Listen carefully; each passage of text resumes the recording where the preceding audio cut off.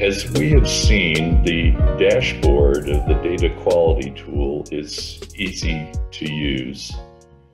A limitation of the dashboard of the application, however, is that it can only be used to review those indicators or data elements for which the dashboard has been configured. We'll next see how we can use the analysis function of the WHO data quality tool to look for outliers or inconsistencies between any data elements which have data in the DHIS2. Let's start by looking at how we use analysis consistency.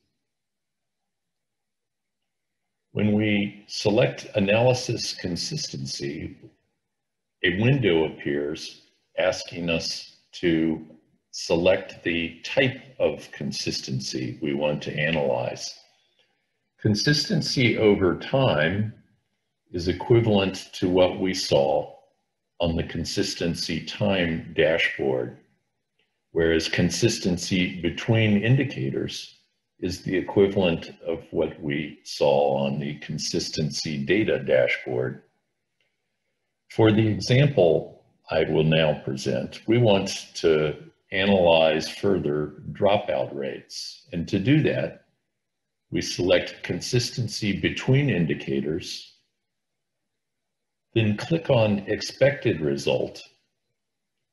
And it's now possible to select dropout as the type of analysis.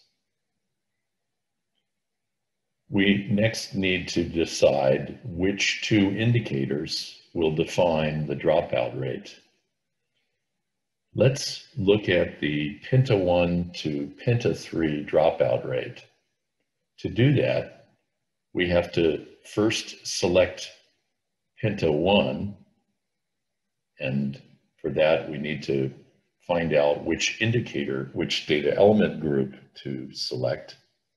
And if we select immunization, we find that Penta 1 given before 12 months of age is a data element in the immunization data element group. Next, we need to select Penta 3 given before 12 months of age. Again, we need to select the data element group, immunization, and the immunization data element group includes Penta third doses given before 12 months of age. So already you see some of the challenge of using the analysis function in that we need to configure it. We, and to configure it, we need to know what is the data element group or indicator group we want to select from, what is the data element or indicator we want to select, and so forth. This configuration requires that the user be familiar with how the data sets are organized. So this is not a function that can easily be used by the beginner. But we've now set up to look at the dropout rate between Penta 1 given before 12 months and Penta 3 given before 12 months. Now we only need to select the period. Let's select last month, last year as the period and disaggregate by district, then click on Analyze. The screen shows us a chart that is identical to what we saw on the consistency data dashboard. But in addition to this histogram with one bar for each district and two districts that have a negative dropout rate, we have a table. And the table shows us the number of first doses of Penta given by each district and the number of third doses given by each district. And it shows us for these two districts with negative dropout rates that the number of third doses given in, the, in 2019 was greater than the number of first doses. So we get this additional information when we use the analysis function. We can select one of these districts by clicking on the row and the row turns light yellow. When we do that, a table with a single row for district A2 appears at the bottom of the screen and a chart showing for each month over the 12 month period, the value of Penta 1 and the value of Penta 3. And notice what we see. For most months, we see that District A2 reported a higher number of third doses of Penta than first doses of Penta. For example, in May of 2019, 1,063 first doses, but 1,139 third doses. So District A2 has a consistent practice of reporting higher numbers of third doses of Penta vaccine than first doses of Penta vaccine. And then for November of the 12 month period, there's this quite suspicious value that may be due to an error in data entry because the number of third doses is so much greater than the number of first doses. But for these other months, there seems to be some habit of reporting higher numbers of third doses, just a bit higher than first doses of Penta vaccine. We can continue the investigation by clicking on the menu icon at the end of this single row. And we're allowed to drill down. What we now see is a histogram that disaggregates the Penta 1 to Penta 3 dropout rate for 2019 by individual health facility. And we see that almost all the health facilities of District A2 have been reporting higher numbers of third doses than first doses of Penta vaccine. Most all of the facilities have negative dropout rates.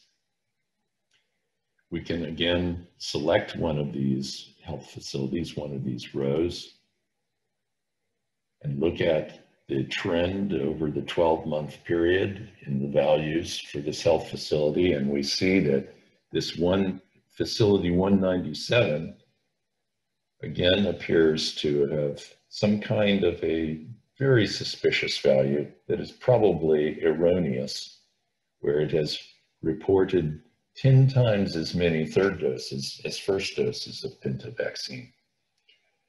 So in summary, by using the analysis function and looking at analysis of dropout rates, we get additional information that allows us to investigate and determine is the negative dropout rate for a district due to a single erroneous value, a single outlier, such as here, or is it due to a pattern amongst many different health facilities and for many different months of reporting higher numbers of third doses than first doses. Let's look at one more example before we then see how we can use analysis to look at outliers. With this example, we're going to look at analysis between indicators but this time, we're going to look at two indicators that we expect to be roughly equivalent. And in this case, we're going to compare third doses of Penta vaccine to third doses of OPV vaccine.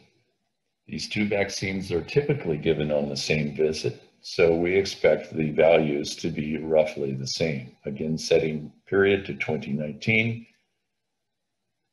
disaggregation to district, click on Analyze, and we see a scatter plot which reassures us that indeed for all of the districts the value of third doses of pentavaccine is closely related to the value of third doses of OPV vaccine. And we could, if we wanted to, do some investigation, although the fact that all of these dots are between the two gray lines reassures us.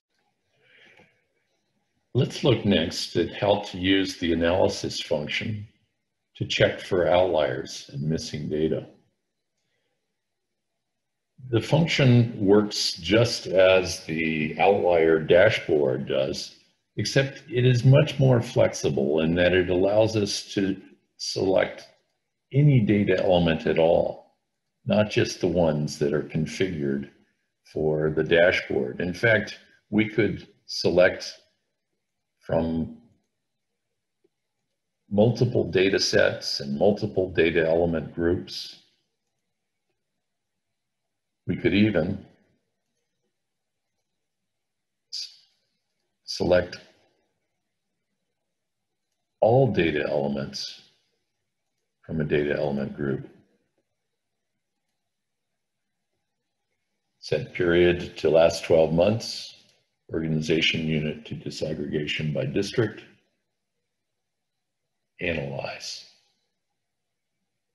We're waiting for the data to process, and we get the table showing us all of the suspicious values for the selected data elements. It has the same options as with the outlier dashboard, so we can filter to identify only the most suspicious values, or we can filter if we are at facility level. We can use it to identify facilities that have large amounts of missing data. In summary, the analysis function works in a way that is quite similar to the dashboard of the WHO data quality tool, but it is much more flexible. The price that you pay for using the analysis function is that you have to configure it. And to do that, you need to be familiar with how the data sets are organized and you need to find just the data element or indicator that is most appropriate for the analysis.